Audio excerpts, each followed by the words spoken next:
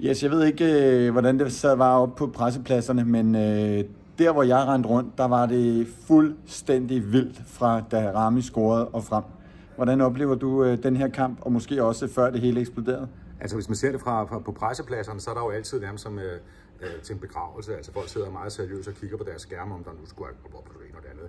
Men altså, øh, jeg kan godt lige sige, Kasper fra kvart i bold, han var nødt til at flytte sig derfra, der, der, der ramme udligner. Jeg kender det. For han tør, altså han tør ikke juble, men altså, det var, den kamp var jo efter min mening den mest intense og måske den bedste fodboldkamp i parken i denne her sæson. Altså det er måske også den bedste af, af, af de 23 øh, FCK har været med i Superligaen, fordi den havde alt, og fordi vi spillede mod et rigtig, rigtig godt hold, og fordi vi vandt.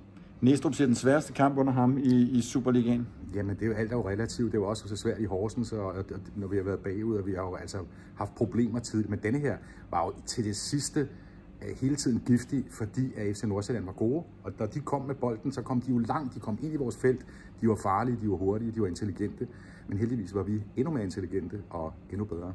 Du ser jo hele banen noget bedre end mig deroppe fra. Øh, hvad ser du, da de kommer, øh, da de kommer foran, og egentlig også frem til FC København scorer? Altså, øh, det bølger jo frem og tilbage, og det er jo ikke, jeg synes ikke, man kan sige, at vi er tættere på at, at, at udligne, end de er på at, øh, at score til 2-0. Nå, der var meget voldsomme debatter i pausen mellem øh, mere eller mindre fodboldkyndige om, at vi ikke var blevet spillet ud af brættet i første halvleg. Det mener jeg overhovedet ikke, vi blev. Jeg mener, Ja, vi har jo syv hjørne eller sådan noget, så, så vi er tæt på deres mål. Chancer de første 10 minutter. Ja. Og deres mål er jo en, en fejl. Det bliver vi nødt til at sige, både af, af, af det Vavro, der ikke når op. Øh, nej, det er vist... Øh, I hvert fald, altså, så står Grabara også forkert. Altså, det er dumt, at de får lov til at score.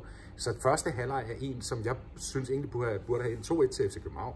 Fordi der var så mange ting nede i, i vores ende. Altså, farlige hjørnespark, masser af tæt på at komme helt fri og så videre og så videre, og ramte stolpen og så videre. Og deres chancer var ikke så mange, men de var bare farlige, når de havde bolden. Det var de også i anden halvleg.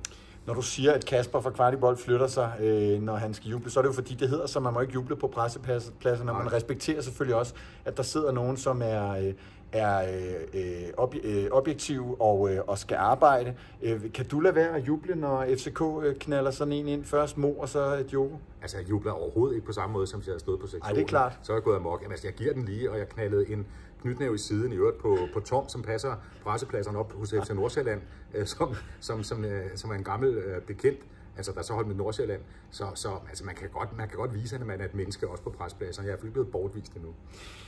Synes du, det er retvisende, at FC København vinder 2-1? Totalt retvisende. Vi, kunne- altså, det, det var en kamp, der måske skulle have endt øh, 4-2. Ah, Havkon skal sætte den der ind, ikke? Havkon skal sætte den ind til sidst, og der er kæmpe chancer i starten af kampen. Der er, altså, det, det er, ja, jeg ved ikke, om det er vores bedste kamp, sådan rent chancemæssigt og alt muligt. Altså, der, der er OB i kampen, den har jo sit eget liv.